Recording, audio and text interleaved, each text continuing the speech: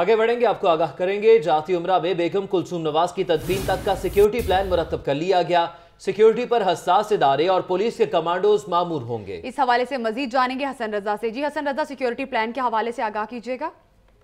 جی بالکل محکمہ داخلہ پنجاب کی جانب سے یہ سیکیورٹی پلان جو ہے مرتب کیا گیا ہے جس میں ایلیٹ پیٹرولنگ کے تین ایس پی تین ایس ڈی پی او اور چھ ایس ایچ او اور پچہتر جو ہیں وہ اپر سب آرڈینیٹ جو ہیں وہ تعینات ہوں گے۔